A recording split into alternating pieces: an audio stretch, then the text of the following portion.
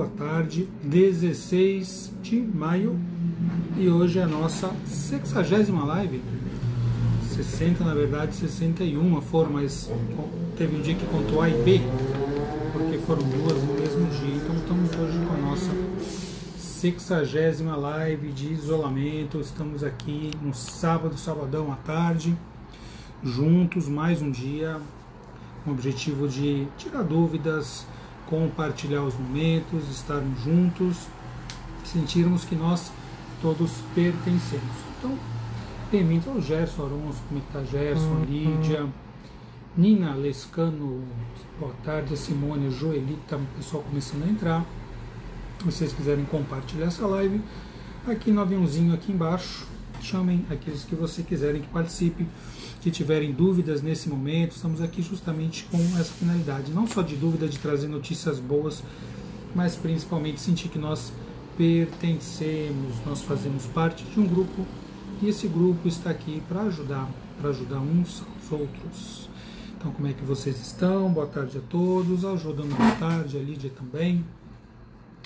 Rosiane Brito entrou. Espero que vocês estejam bem. Espero que vocês estejam aproveitando o seu final de semana, mesmo no isolamento, mesmo que tenham que ficar em casa mais do que gostaríamos, porém é fundamental que a gente possa estar bem, mesmo é, com essas questões né, do dia a dia, com essas dificuldades, principalmente a gente fala esses desafios de termos que ficar em casa, de termos que ficar sem fazer aquilo que nós gostaríamos de fazer, mas podemos fazer outras coisas agradáveis, outras coisas boas também, estudar, ler, ouvir música, fazer atividade física, dançar. O que vocês quiserem fazer é válido. Hoje já tivemos aula do curso Consciência Sistêmica, aula online com os alunos das 9 às 11 da manhã, foi muito bom. Pudemos conversar bastante sobre sistêmica, constelação. O tema foi constelação individual. Saudades dos nossos grupos, dos nossos grupos presenciais mas a gente vai se adaptando e esperando os momentos em que nós possamos voltar a participar e possamos voltar a nos encontrar presencialmente. Logo, logo isso vai acontecer, né? Porque, de acordo com o que a gente sabe, nosso mantra é: tudo passa, isso também irá passar. E nós vamos passar por isso juntos, ok? Tânia Carneiro entrou, boa tarde. Eliana, boa tarde. Shirley Sil, Alexandre Bressa também, bem-vindos a todos, a todas. Estamos aqui, como é que vocês estão? Contem de onde falam e o que, que vocês têm feito no dia a dia, como é que têm lidado com esses momentos, com as angústias, com as incertezas. Né? Aguardo vocês aí. Se colocarem, Angela Rocha entrou, a Dalmar, colega Dalmar, a Andréia também, Andréia já teve boas notícias, a mamãe dela já está em casa, espero que esteja evoluindo bem a cada dia. Vivis S. Dantas, pessoal aí participando da live, né, nossa live número 60, número especial, estamos aí com quase dois meses de live, né, dia 19 de março iniciamos esse movimento e vai até quando for necessário, até quando é, vocês estiverem participando, até quando a gente continuar com esse movimento do isolamento. a Rosana entrando aí também, bem-vinda. Um sábado de sol maravilhoso aqui, aqui em Santos. Quando eu saí do plantão 7 da manhã estava bem friozinho, agora já está bastante calor. Né? Um, uma tarde de fim de semana de outono, muito bacana, muito gostosa. Podemos olhar para isso também, né? Não somente para coisas ruins, mas ver que a natureza está menos poluída, parece que o ar está mais o ar está mais fresco, o céu mais azul e assim nós vamos levando um dia a dia aguardando né, esse movimento de crise passar, aguardando o prazo em que a gente possa voltar à rotina, claro que transformados, modificados, certamente espero que sim. Porém, aproveitando tudo o que acontece de bom e de ruim, porque tudo é o que tem que ser.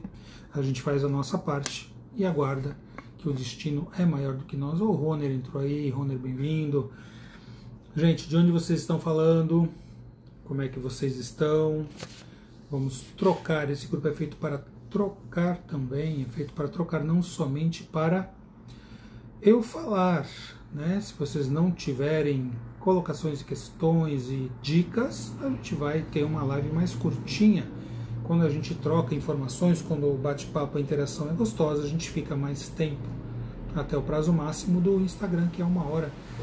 Uma hora ele já desconecta a gente, faz uma contagem regressiva. A Ingrid entrou, boa tarde, boa tarde, Roner. Adriana Hafner entrou também. Bem-vindas a todos e a todos. Olha, sinceramente, hoje eu não sei nem de notícias, porque cheguei do plantão, dei aula junto com o Rodrigo aí, conversamos com o pessoal do grupo de estudo, nosso grupo de do consciência sistêmica, quer dizer, ficamos aí quase que a manhã toda, até quase meio-dia, e ainda estou arrumando aqui o quarto do escritório, tanta coisa, 40 caixas de livro, já está quase tudo no lugar quase tudo aí sendo arrumado. É gostoso, eu gosto de arrumar as coisas. Quando vejo as coisas desarrumadas, desorganizadas, eu gosto de ir lá organizar. Acho que isso tem a ver também com a minha profissão, né? Quando eu vejo a saúde desorganizada, eu busco ajudar as pessoas, não arrumo para as pessoas, mas procuro ajudar as pessoas a se reorganizarem no seu estilo de vida, nas, suas emoções, no seu dia a dia nos medicamentos que tem que tomar, enfim. O Zé Roberto entrou aí, colega também, pediatra. Espero que estejam todos bem. E se nós estamos aqui, mais um dia que nós estamos na live, significa o quê? Que nós estamos vivos, que nós estamos com saúde, que nós estamos passando por toda essa turbulência e, bem ou mal, com consequências, com dificuldades, porém, estamos aqui e isso é um motivo de grande gratidão, gratidão. Simone, eu soube que a cidade do Guarujá flexibilizou o comércio abrindo os salões de beleza com certas regras. É, vai haver pessoas que farão isso. O prefeito do Guarujá, meu amigo Walter Sumo, meu colega de plantão, ele é um médico muito competente, ele é um gestor muito bom, ele é uma pessoa muito ética, né? Se ele está fazendo isso, acredito que lá haja condições, né? haja condições que é, é, isso possa ser feito. Vamos observar, né? porque na verdade as coisas são feitas e os efeitos e resultados viram depois. A Ingrid está dizendo que é o pediatra do meu filho, o Dr. José Roberto, o pediatra do filho dela. A Cá entrou, Oliveira Cá entrou também. Boa tarde, doutor amigo Cá, bem-vindas, bem-vindos a todos. Vocês têm alguma questão hoje? Não me perguntem sobre notícias, porque eu nem vi notícias, eu não tinha nem vontade de ver. Depois que eu soube que o ministro da Saúde foi embora, né? Ele pediu as contas, eu nem assisti mais, eu fiquei assim um pouquinho chateado, mas vamos ver quem é que vai entrar. Mas quem vai entrar com certeza será uma pessoa que vai fazer o que os políticos desejam e o político maior, dirigente, deseja. Isso tecnicamente falando talvez não seja nada interessante, né? porque é, eu diria que é, é, quando a gente trata né, de uma pandemia, quando nós estamos lidando com uma, um grande desafio de saúde, os critérios não podem ser políticos, os critérios não podem ser econômicos. Claro que tudo isso é importante, economia é importante, mas primeiro vem a saúde. Então vamos ver o que, que vai acontecer. O que, que será daqui para frente. A Sônia entrou, bem-vinda. Roner dizendo, senhor é psicólogo e médico. Como exatamente o seu trabalho? Poderia falar um pouco disso? O meu trabalho, Roner. Eu falei, olha, teve uma live anteontem, quinta, é isso, anteontem de manhã, com a Ana, Ana Carvalho, que também é consteladora, foi formada pelo Consciência Sistêmica na turma do ano retrasado. E ela me convidou para fazer uma live, já subiu no YouTube, e eu falei sobre a minha carreira, minha profissão, né, como é que foi esse caminho para eu chegar até aqui e como é que como é que eu segui, o que, que eu busquei. Assim, se eu puder resumir, é, é, eu busco entender né, como é que as pessoas adoecem, olhando não somente para a doença, como o médico olha, não somente para o emocional, como um psicólogo olha, não somente para o sistema, como um constelador olha, mas procurando ver essa totalidade, corpo, mente, espírito, sistema. Né? Eu procuro entender na maneira como Hipócrates falava antigamente: conheça ou doente, não a doença. Então eu vejo assim, eu trabalho, atuo é, é, dia a dia como médico, dou plantão ainda, é, acabei de vir de um plantão essa noite, é, trabalho na clínica, atendendo como médico, como psicólogo, com a terapia EMDR e MDR e com as constelações sistêmicas, tanto é, é, individuais né, como em grupo, tá? à distância, online também. Esse é o meu dia a dia, a maneira como eu trabalho. E para mim, o diferencial que eu busco sempre é agregar é, agregar ferramentas, instrumentos de trabalho, então na medicina, psicologia, PNL, coach, a sistêmica, sempre estudando, porque amo estudar, isso me ajuda bastante também a atender as pessoas. Sou profissional já há 33 anos, aprendendo dia a dia, ainda muito para aprender. Raquel, querida, entrou, como é que vai? Tudo bem? Como é que vocês estão? Tenho visto suas postagens aí, parabéns pelo trabalho também. Estão perguntando aqui como é que está a situação do Santo Leitos ocupados, a Ingrid? Eu não sei os números específicos, pelo que eu, é, assim, não, não, posso te dizer numeração. Isso aí todo dia sai notícias pela prefeitura, eles colocam o número de leitos. E o que eu sei é que a Santa Casa já abriu mais uma UTI para o Covid. Então a lotação aqui na cidade está chegando próximo ao limiar, próximo ao limite dos leitos, né? eu já precisei de internar pacientes no plantão, a gente já está tendo alguma dificuldade, não é no primeiro nem no segundo hospital que a gente busca, que a gente consegue vaga, e eu espero que siga nesse ritmo, não aumentando demais o número de casos, para que não haja problemas, né? para que a gente não fique sem poder internar as pessoas, sem leitos, ok?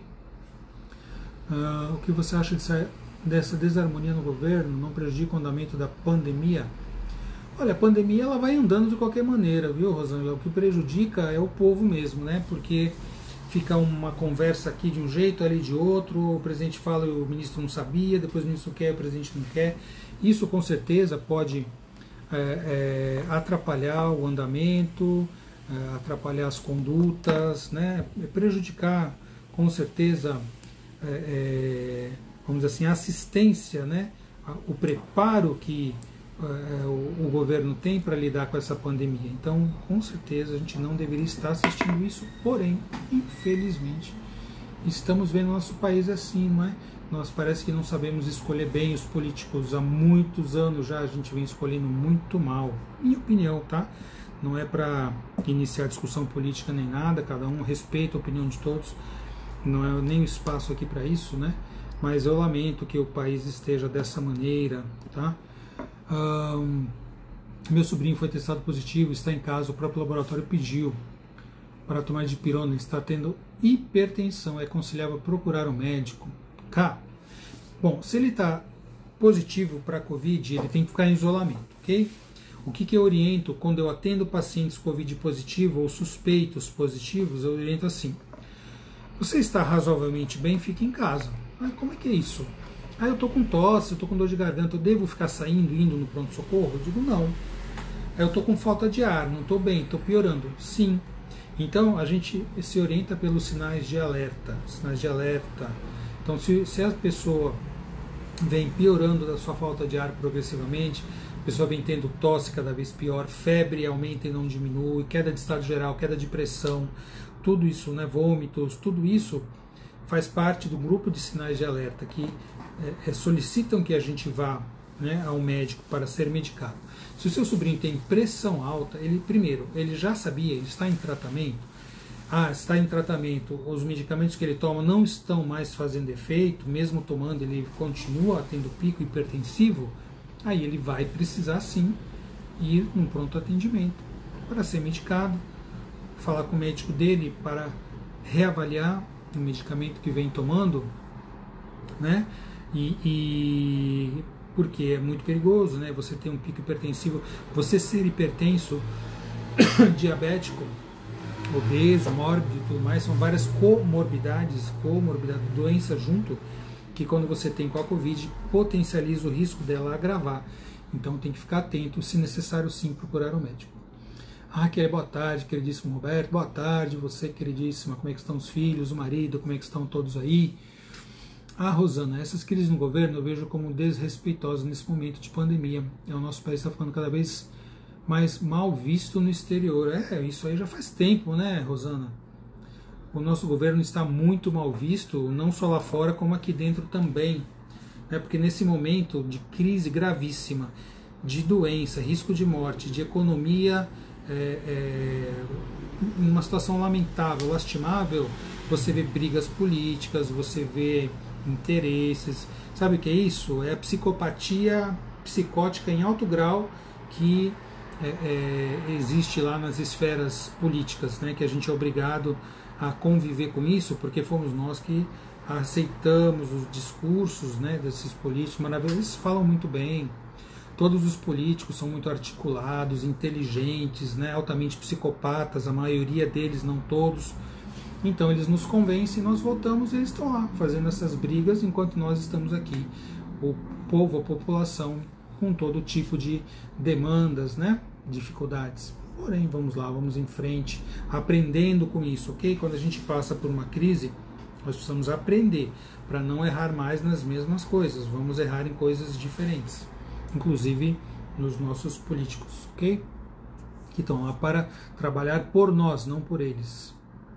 Mas não é o que acontece. PA Cabais entrou, Tati Abrão, Adriana Queiroz, doutora Lucilena, Liliana Microfisioterapia, Roner agradecendo, a Raquel, Estética Mara Ribeiro entrou também, Sandra Yumi, Yumi Okazaki entrou, bem-vindas a todos, a todas a mil do Hospital Vitória por atendimento do Covid. Ótimo, que bom, né? Se existirem aí pessoas, instituições é, nesse momento buscando um bem maior, buscando ajudar né, nesse momento, tudo que a gente puder, o pouquinho que a gente puder fazer para ajudar, já conta muito, ok? Nesse momento, muita gente está precisando de muitas coisas comida, de dinheiro, de palavras amigas, de acolhimento, de remédio, de, de cuidar da saúde. O, o, o, no momento, as pessoas normalmente já precisam de muita coisa, ou atualmente, então, muito mais. Né? Um, a Kai dizendo que sim, ele toma medicação, mas não está adiantando. Então, se ele está com pico hipertensivo, a medicação de pressão alta dele não está funcionando, ele está com Covid mais crise hipertensiva, vá para o pronto atendimento se conseguir falar com o médico dele, entrar em contato e o médico orientar para alguma medicação e essa medicação funcionar, ótimo. Para nem precisar sair de casa, porque aí está, né? A pessoa com Covid já fica mal, se sente mal, é, mesmo que num grau leve, e ainda vai poder passar para outras pessoas, né? Olha que situação delicadíssima. Mas Vamos lá, né? Não dá para deixar de tratar. Porque eu digo assim, ah, tem médicos que não estão atendendo, tem clínicas fechadas. A saúde, a gente continua mal, vamos dizer assim, em todos os setores, né? Não existe só Covid-19, coronavírus, gripe, não existe só isso. As pessoas continuam com problema cardiovascular, neurológico, gastroenterológico, ginecológico, dermatológico. As pessoas continuam adoecendo, talvez até mais por conta de estarmos vivendo todas essas dificuldades. Então não dá para falar assim, chega, fecha tudo e vamos simplesmente só olhar para a Covid e o resto. Tem gente que não está tendo diagnóstico de problemas graves. Né? Essa madrugada no plantão eu já diagnostiquei uma dengue. Né? Então existem outras doenças acontecendo junto com a Covid-19, ok? A Juliana, a Ju, é a Ju, é você mesma, Ju? Você está bem? Eu soube que você teve Covid e já se recuperou, graças a Deus, você está bem? Conte para nós. Eu vi a notícia, a Márcia me mostrou, fiquei preocupado, mas eu vi que você está melhor. Que bom, fiquei feliz. Se cuide, né? Quem está na linha de frente precisa se cuidar muito. Uh, o Roner, doutor, não sei se a live está aberta a qualquer tipo de pergunta, mas gostaria de uma orientação para lidar com o paciente. 33, enfermeira, paranoia com doença, qualquer coisa, acho que está doente. Como olhar para isso? Bom, a gente pode olhar para isso é, é, juntando o olhar psicológico com o olhar sistêmico, né? Então, uma pessoa que está sempre com medo de adoecer, né, ela se sente em risco, ela se sente ameaçada, tá? Então, o que faz ela se sentir ameaçada? Será que ela, de alguma maneira, é, é, pode ser assim? Eu não faço as coisas bem, eu não cuido da minha saúde, então eu tenho medo de adoecer, tá? Ou então, é, como eu tenho uma dinâmica de proximidade com doença, de proximidade com a morte, de insatisfação pessoal ou qualquer outra que seja, eu tenho medo de adoecer, porque isso pode me colocar um risco, evidenciar o risco que eu já tenho, sinto dentro de mim. Né? Pode ser que ela esteja identificada com pessoas que adoeceram no sistema, no sistema familiar, né? você conhece constelação, você sabe disso. Então ela pode estar com essa identificação com, algum, com alguém excluído do sistema. Tá? Então, é, o medo ele sempre é um sinal de alerta, tá? É um sinal de alerta. Se eu tenho medo de adoecer, se eu me sinto em risco, é porque algo me aproxima da doença. Né? Pode ser que eu tenha tudo aquilo que eu quero evitar demais, é porque eu tenho uma proximidade muito grande. Então precisa ver o que faz ela se aproximar tanto da doença. É a mesma coisa assim. Ah, eu vivo na minha relação achando que tem traição com meu parceiro, minha parceira me trai. Quem que está colocando a traição na relação sou eu. Quem está colocando o terceiro elemento sou eu. O meu ciúme, eu coloco o terceiro elemento lá. Provavelmente não exista nada, às vezes sou eu que com esse comportamento tenho o desejo de trair e coloco no outro. Então, às vezes a pessoa que tem um pavor de alguma coisa, ela sente também muita atração por aquilo. Então, a dinâmica provavelmente tem ligação com um olhar doentio com uma percepção da doença, da morte próxima dela, que pode estar ligada a algo, a algo do sistema, ok? Assim, claro que não conheço nada desse caso profundamente, porém, esse é um possível olhar, Roner. Não sei se satisfez a resposta, mas dê uma pesquisada por aí, ok? A Emília Okimura entrou, Robertines entrou, bem-vindos a todos que estão aí, né, na nossa live especial de sábado. Especial por quê? Porque todo dia a live é especial.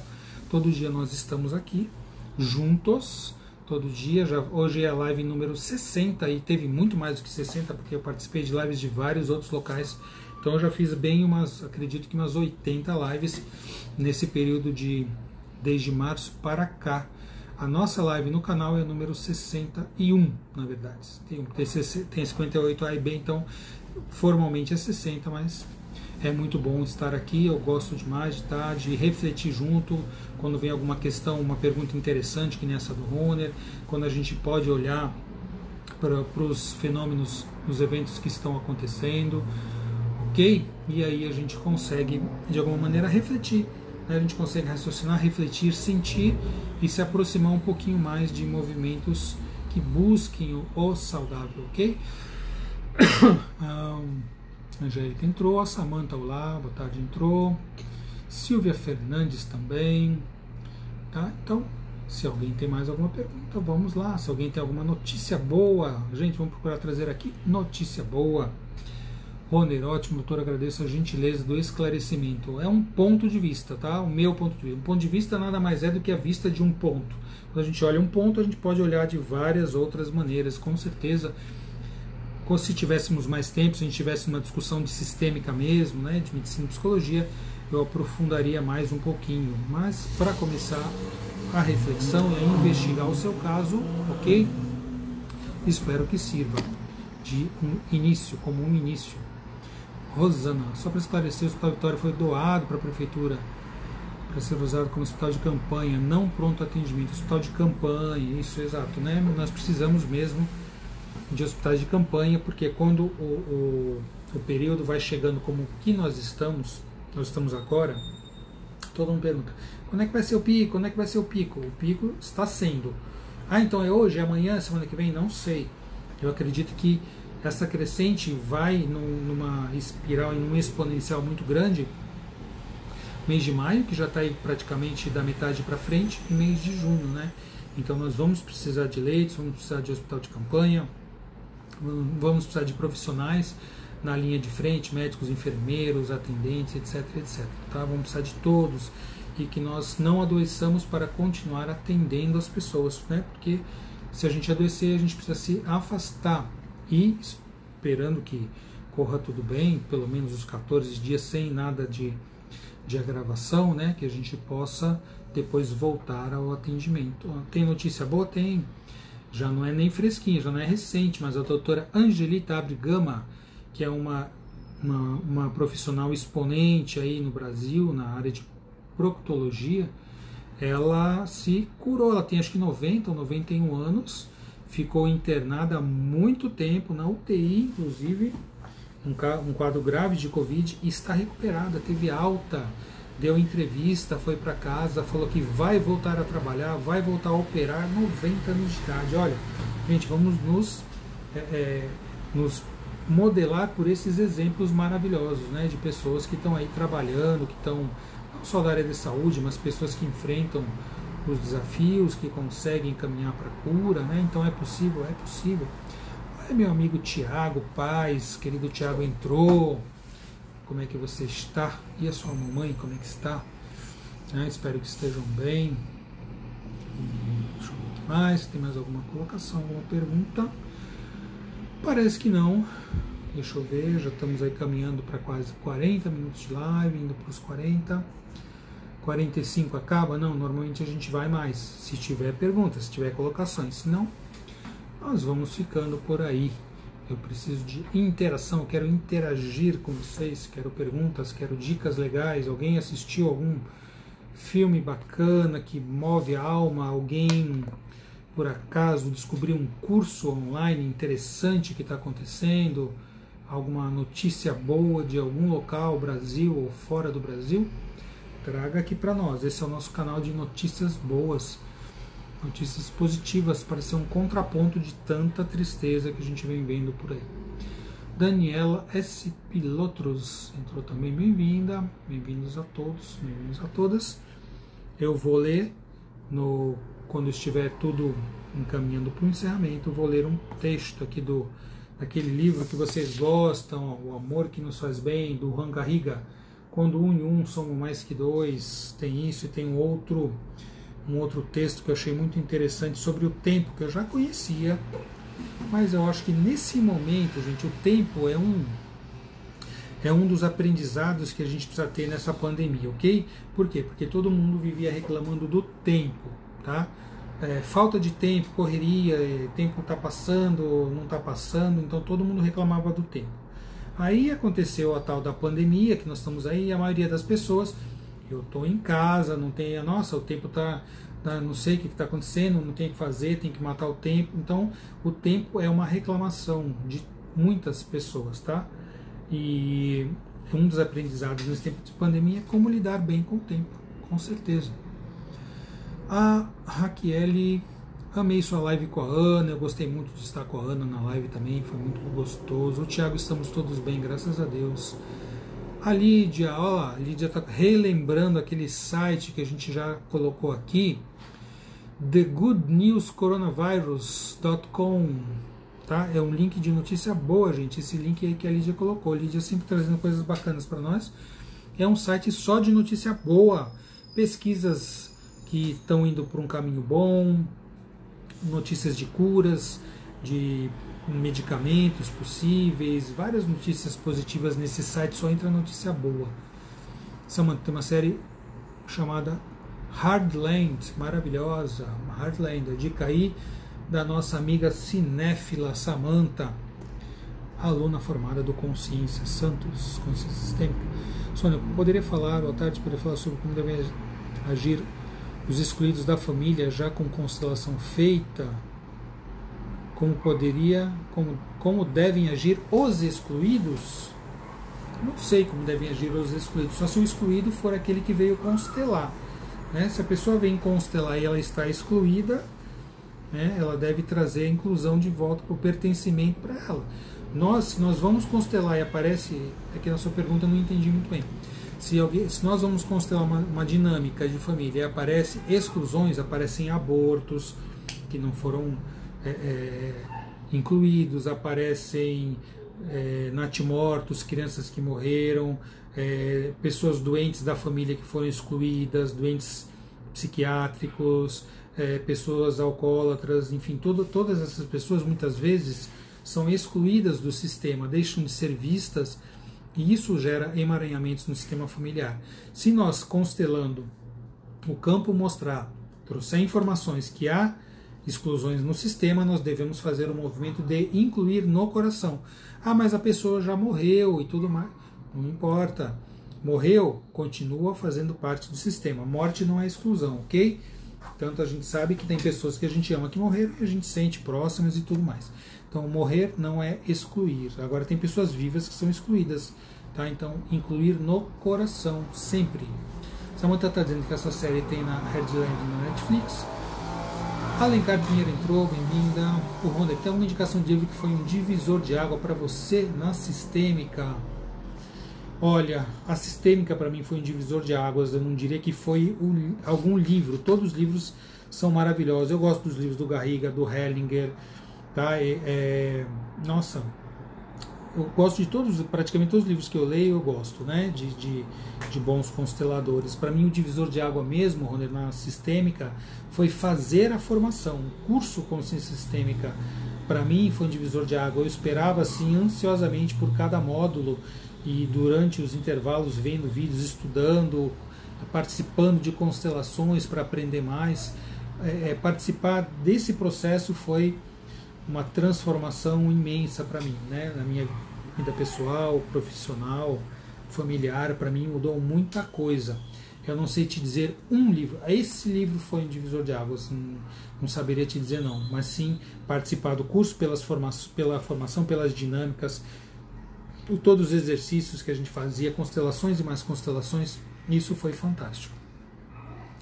Rosane Pellegrini entrou, Jane Elias, Bem-vinda, bênçãos. Jane já está recuperadíssima, já está 100%. Não vou falar pronta para outra, senão ela vai ficar brava comigo, né? A gente não deve ficar pronta para outra.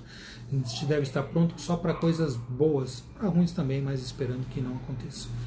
Tá? A Sônia agradecendo.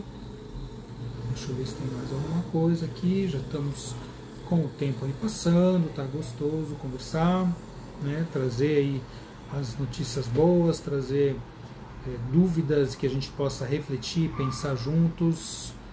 Tá? Uh, Bem-estar físico entrou também. Olá, como é que vão? Então, gente, mais alguma coisa? Ou então nós vamos ficando por aqui. E amanhã vamos ter também lives, a nossa live das 15h30, tá? Ah, deixa eu ver aqui. Eliana colocando que tem notícia boa. Tem um vídeo lindo do Hospital Moinho de Vento, Porto Alegre, fechou as aulas da UTI extra que foi criada para Covid. Será que os casos estão diminuindo lá? Então, aparentemente estão diminuindo. Tomara que nesse local já esteja numa decrescente. As pessoas vão tendo alta, vão se curando mais do que pessoas adoecendo. Isso significa que ah, nessa localidade, porque não é em todos os locais, né? Nessa localidade os casos estão é, diminuindo e as pessoas se curando. Isso é fantástico, é bom, é, é, uma notícia maravilhosa. A gente sabe que tem outros que não estão dessa maneira, infelizmente. Porém, é uma notícia muito, muito positiva, maravilhosa. Ver se tem mais alguma coisa. Sei que realmente concordo, Roner. A formação em sistêmica é realmente transformadora. A Roner sabe. Porque também fez a formação com sistêmica. Você fez em Ribeirão, né, Roner? Se não me engano Ribeirão Preto, é isso? São Carlos, não lembro onde foi que você fez, mas também é um formado em sistêmica. Creuza Barreto entrou, bem-vinda. Estamos aí então caminhando para o nosso encerramento. Eu vou ler o trecho aqui do livro, se ninguém tiver mais alguma pergunta. E nós temos falado desde o Dia das Mães, no domingo passado, falado sobre tomar pai, pai e mãe, que é um movimento altamente curativo para o sistema né? Então falando sobre os relacionamentos, falamos sobre relacionamentos interpessoais. Eu vou trazer aqui do livro do Juan Garriga, Constelador Espanhol, tá? O Amor que nos faz bem. Ele é um constelador do Instituto Gestalt de Barcelona, junto com Juan Corbalan também, que é outro fantástico profissional, constelador e psicólogo, psicoterapeuta. Nesse livro tem esse texto aqui: Eu posso viver sem você? Como assim? Mas como assim? Você não falou que eu era sua vida? Você é minha vida? Né? Então ele tem falado, eu falei esses dias sobre solitude, solidão, e esse trecho vem bastante é, é, bem a calhar com o que eu falei esses dias sobre solitude e solidão. Eu posso viver sem você. Imagine você falando isso para a pessoa com quem você se relaciona. Vamos lá. No mundo dos relacionamentos afetivos, cedo ou tarde aprendemos para o bem e para o mal, e alguns mais facilmente do que outros, a vida é assim, né? Que, contrariamente ao que talvez um dia sentimos, podemos sim viver sem o outro. E que é saudável poder viver sem outro sem jogar nas costas dele a responsabilidade de nossa vida e sem que outro jogue sobre as nossas a responsabilidade da dele. Então, olha, como comentário, você já viram alguém falar assim? Eu não consigo viver sem você. Você é tudo para mim. Você é minha vida. Gente, isso é um absurdo falar isso para alguma pessoa que você ama. Primeiro, por quê? Porque você está se colocando numa posição inferior. Se outro a vida é a vida, a vida é muito maior do que eu, né? Então eu dependo do outro, outro é minha vida. Se outro for embora, ele leva a minha vida embora e eu morro, eu fico sem a vida, eu morro. Então isso é uma relação igual, é uma relação equivalente? Tem equilíbrio de troca nesse tipo de relação? Não. Vamos continuar. Fritz Perls, criador da Gestalt, terapia Gestalt, ciente do sofrimento que a escravidão a ideias alheias provocava nas pessoas, foi um apóstolo do eu e de seus limites, do completo respeito aos desejos e necessidades próprias, da identidade ferrenha, de sustentar-se sobre os próprios pés e assumir a plena responsabilidade pessoal. Então ele era um egoísta, né? Nossa, que horror uma pessoa assim. Não, uma pessoa muito inteligente, sabe? Como rúbrica de seu pensamento, ele escreveu sua célebre oração gestáltica. Vocês conhecem a oração da Gestalt? Ela é maravilhosa. Eu vou ler para vocês agora aqui no texto a oração da Gestalt do Fritz Perls. Prestem atenção, ouçam com o coração. Eu sou eu e você é você. Eu faço as minhas coisas e você faz as suas. Eu sou eu, você é você. Não estou nesse mundo para viver de acordo com as suas expectativas. E nem você o está para viver de acordo com as minhas. Eu sou eu e você é você. Se por acaso nos encontrarmos, é lindo. Se não, não há nada, não há o que fazer. Nossa, que horror isso, hein, Roberto? Não, isso é maravilhoso. Tá? Isso significa assim que eu tenho que me amar primeiro. Eu só posso dar amor para outra pessoa se eu me amar. Se eu não me amar, esperar o amor do outro, eu amo você mais do que tudo, você tem que me amar. Eu me coloco numa posição de dependente e o outro é codependente. Está cheio de relações assim, ok? Então, se nós nos encontrarmos por acaso, como é que encontrar? Como é que se encontrar nesse relacionamento? É nós nos encontrarmos na equivalência, no equilíbrio de troca, dar e tomar de maneira equivalente. Eu dou para o outro, o outro devolve para mim, a gente vai crescendo no amor e no relacionamento. Eu não sou dependente do outro, o outro não é dependente de mim em nenhum aspecto. Então, continuando. Primeiro, segundo Pearls, trata-se de obter um eu forte capaz de tomar suas decisões, capaz de dizer sim e não, ciente de suas necessidades e desejos, mas também capaz de se sustentar em si mesmo e de impor limites de reconhecer suas verdades e desafiar suas máscaras, e de se adaptar criativamente a seu entorno sem se falsificar. Então, uma pessoa dessa vai sofrer abuso no relacionamento? Ela vai ser vítima de agressão ou vai agredir num relacionamento? Não, porque é uma pessoa que sabe se colocar, sabe se amar, se respeitar e respeitar o outro e colocar limite. Continuando, já vimos que ao nos voltarmos para o relacionamento afetivo, nos despedimos da infância relacionamento afetivo adulto com sexualidade só é possível para adultos. Não adultos cronológicos de idade, mas adultos emocionais. ok? E que o ideal é poder olhar para o companheiro e dizer: Eu amo muito, eu o escolho, mas sem você eu também estaria bem. Pois bem, só podem dizer isso aqueles que aceitaram seus pais. Tomar os pais. Lembram dos outros textos que a gente tem lido aqui nos grupos, no, na live, nos grupos de estudo.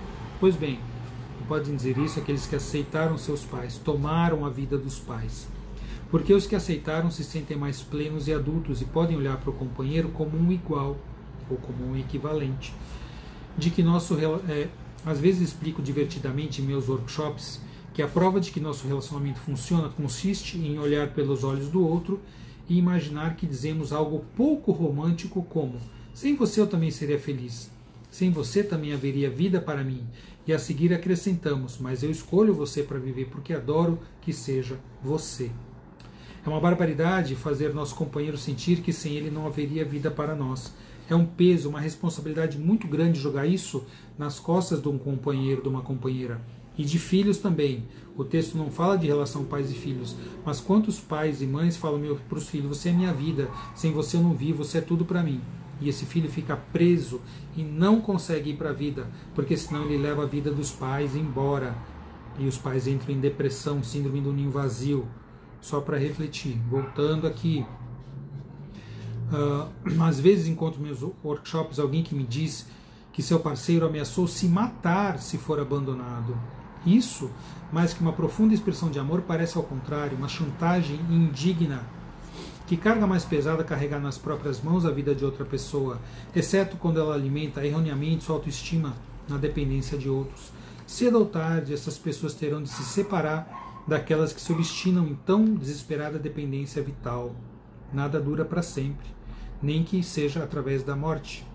O relacionamento ainda existe nessas condições? Não mais. E o tempo que durará a relação será imprevisível, mas não feliz, a menos que aquele que se sente tão dependente se responsabilize por si mesmo e trabalhe para moderar sua demanda excessiva, sua dependência infantil do outro. Então, embora pareça paradoxal, é bom que no fundo as pessoas saibam que sem o outro também viveriam bem. Acho isso uma maneira, uma maneira fantástica de obter uma espécie de antídoto contra a dependência e o infantilismo no amor. Quando experimentamos um sem você eu não poderia viver, comportamos-nos como crianças, pois olhamos para o outro como se ele fosse nossa mãe ou pai. E esse tipo de coisa em um relacionamento só se pode aguentar quando é algo leve, mas se for excessivo não pode funcionar. Um relacionamento se fundamenta na sexualidade e na igualdade de categoria, como vimos, e não tem nada a ver com uma relação materno ou paterno-filial. um relacionamento afetivo é uma relação contratual e condicional. A relação incondicional se dá entre pais e filhos, mas não entre adultos. Incondicional por conta do vínculo, ok? A gente está sempre vinculado, pais e filhos. Porém, condicional é o relacionamento, também é condicional, ok? Então deu para entender um pouco sobre a questão da dependência nos relacionamentos. Espero que tenham gostado desse texto. E já caminhando lá para o nosso encerramento, se não houver mais nenhuma questão, deixa eu ver aqui, a Lídia, cada ser é único tem sua individualidade, sua história, temos que respeitar isso de modo adulto, beleza, com certeza. Eu vou ler aqui para encerrar um texto sobre o tempo, que é um texto antigo, já li isso há muito tempo, muito tempo atrás, porém, como nós estamos aí numa questão de, de paradigma diferencial de tempo, ok? Então eu vou ler esse texto aqui que eu não sei de quem é, eu não sei o autor, mas parabenizo a pessoa. A Flá Laranja Blog perguntando: essa live fica salva? Cheguei no finalzinho. Precisa salvar? Estão todas salvas. Todas, todas, todas não. Hoje é número 60. Tem umas três ou quatro lá no começo que não estão salvas. Todas as demais, de, de 60, tem umas 56 salvas lá no YouTube, no meu canal do YouTube, ok? Então, espero que vocês queiram assistir façam aí de repente um, como é que fala, que a gente fica o, o dia inteiro, uma maratona de live, ó, vão cansar de mim, não vão querer me ver nunca mais, né? Mas é isso aí. Vamos lá. Tempo. Um texto sobre o tempo que eu resgatei aqui, arrumando as minhas coisas, meus livros, que eu estou há 12 dias arrumando isso aí um pouquinho cada dia. Tempo.